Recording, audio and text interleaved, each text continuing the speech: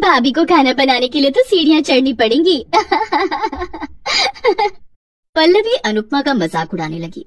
असल में अनुपमा बोनी है और इस घर में उसकी नई नई शादी हुई है। पाँच साल की उम्र के बाद से अनुपमा की हाइट नहीं बढ़ी। उसे लेकर उसके माता पिता बहुत परेशान थे। पता नहीं शादी कैसे होगी इसकी। इसे कुछ सिखाओ। वैसे ही ये बोनी है। कुछ तो खूबी होनी चाहिए इसमें। आदमियों के दिल का रास्ता पेट से होकर गुजरता है। अनु बेटी चला खाना बनाना सीख ले। तब से अनुपमा खाना बनाना सीखने लगी और समय के साथ साथ वो खाना बनाने में माहिर हो गई। उसके हाथ का खाना खाकर हर कोई उंगली चाटने लगा। वाह अनु बेटी कितना अच्छा खाना बनाती है तू। देखना तेरी शादी किसी अच्छे घर में होगी। और अनुपमा बड़ी हो गई। उसके लिए बहुत मुश्किल से रिश्ता आया। लड़का भी बौना था इसलिए लड़के वाले अनुपमा को घर की बहू बनाने के लिए राज़ी हो गए। लड़के का नाम राजेश था।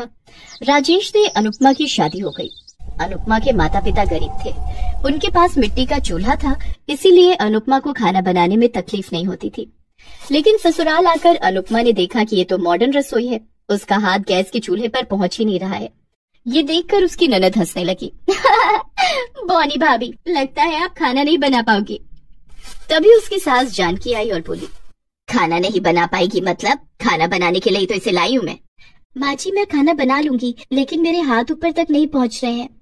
ठीक है, मैं तुझे एक कुर्सी ला कर देती हूँ, उसके ऊपर उठकर खाना बना। जानकी ने एक कुर्सी ला कर दी। अनुपमा उस पर चढ़कर खाना बनाने लगी। पल्लवी ने हँसते हुए कहा, भाभी, आपका नाम आपसे बड़ा है, अनुपमा। अनुपमा को यह सब सुनने की आदत है। उसने कुछ नहीं कहा। रात को वो अपने कमरे में गई। उसका बौनिया पति राजेश बिस्तर पर था। राजेश ने कहा, सुनो अनुपमा, मुझे पता है कि लोग तुम्हें लेकर मज़ाक उड़ाते हैं। मुझे लेकर भी ये लोग हमेशा से मज़ाक उड़ाते आए हैं। मुझे पता है जी, हम जैसे लोगों के साथ तो ऐसा ही होता है। राजेश ने अनुपमा को गले लगा लिया। इतने दिनों में एक दूसरे को प्यार करने वाला मिला। अगले दिन अनुपमा ने नाश्ते में डोसा बनाया। ये लीजिए माँ जी, मैंने आप सबके लिए डोसा बनाया है। अनुपमा की जेठानी सुमित्रा तभी नींद से उठकर आई। आओ आओ, बड़ी भाभी, डोसा खा लो। डोसा? मैं ये सब नहीं खाती। मेरे लिए फ्रेंच टोस्ट बना कर ला। फ्रेंच टोस्ट वो क्या होता है? तभी अनुपमा की सास जानकी ने कहा, मायके से कुछ सीख कर नहीं आई है क्या? अब माँ जी माँ जी, मैं सीख लूँगी। फ्रेंच टोस्ट नहीं बनेगा तो मैं आज ब्रेकफास्ट नहीं करूँगी हाँ? अनुपमा ब्रेड लेकर रसोई में चली गई। सुमित्रा अमीर घर की लड़की है और दिखने में भी बहुत सुंदर है, इसीलिए जानकी उसे बहुत पसंद करती है। उसका बड़ा बेटा रमेश भी अच्छी सरकारी नौकरी करता है और उसका बौना बेटा राजेश, उसे तो कुछ काम मिलता ही नहीं है। पता नहीं मैंने कौन सा पाप किया था कि मुझे ऐसा बौना बेटा मिला, और उसकी वजह से मुझे घर में बौनी बहू लानी पड़ी। ये बोलकर जान की डोसा खाने लगी, और पहला निवाला लेकर उसके होश उड़ गए। अरे वाह, ये तो बहुत टेस्टी है। बहू, एक बार खाकर तो देख। हाँ भाभी, बहुत टेस्टी है, खाकर देखिए। सुमित्रा ने भी निवाला लिया और उसे बहुत अच्छा लगा। अरे हाँ ये तो बहुत स्वादिष्ट है। ए अनुपमा फ्रेंच टोस्ट रहने दे, मैं यही खाऊँगी। ये सुनकर अनुपमा मुस्कुराने लगी। राजेश ने कहा अनुपमा तुम्हारे हाथ में जादू है।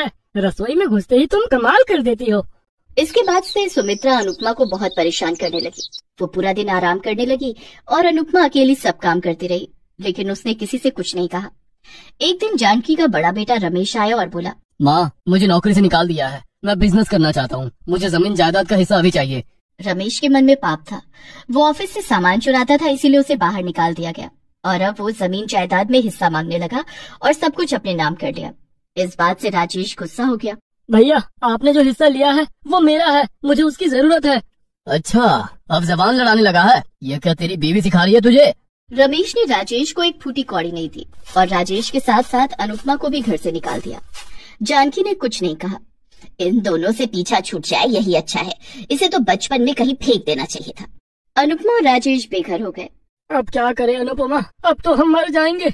नहीं नहीं। आपने ही तो कहा था कि मेरे हाथों में जादू है। मैं खाना बनाऊँगी। लेकिन कैसे? हमारे पास तो फूटी कौड़ी नहीं है। चिंता मत कीजिए। मेरे पिताजी ने शादी के वक्त मुझे एक सोने का हार दिया था। मैंने ये बात किसी को नहीं बताई। नहीं तो जेठानी मुझसे ये भी ले लेती। अरे वाह तुम तो बहुत शातिर हो अनुपमा। अनुपमा ने उस हार को बेच दिया और उन पैसों से एक ठेला खरीदा और दोनों मिलकर उस ठेले पर फास्ट फ़ूड बेचने लगे। उन्होंने ठेले को नाम दिया बॉनी बहू की रसोई। अनुपमा खाना बनाने लगी और राजेश उसकी मदद करने लगा। आइए आइए स्पेशल बॉनी बहू के हाथ का खाना खाइए। लोग आने भी लगे और खाने भी लगे और सभी को खाना अच्छा भी लगने लगा। अरे वाह इतना स्वादिष्ट खाना। क्या तुम हर रोज मेरे ऑफ़िस में दोपहर का खाना डिलीवर कर दोगे? हाँ हाँ क्यों नहीं? देखते ही देखते बॉनी बहू की रसोई बहुत फ़ेमस हो गई। जगह जगह से फ़ूड ब्लॉगर खाना खाने आने लगे।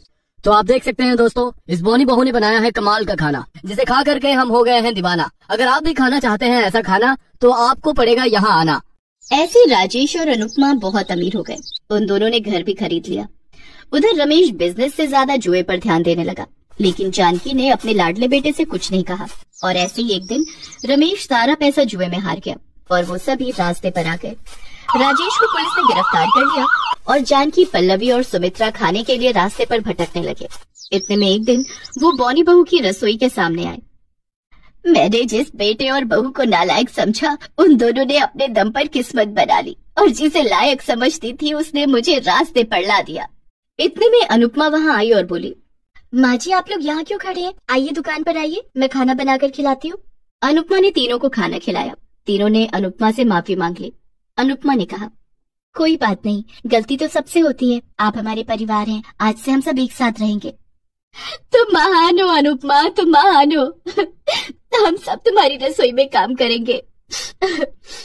इसके बाद सभी एक साथ रहने लगे। सभी एक साथ रसोई में काम करने लगे और ऐसे ही बोनी बहू की रसोई बड़ी होती गई। बोनी बहू ने दिखा दिया कि मेहनत का फल मीठा होता